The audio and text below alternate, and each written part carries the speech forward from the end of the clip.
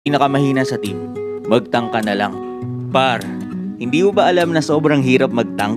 Tapos sasabihin pa ng iba na pabuhat lang daw ang mga tank.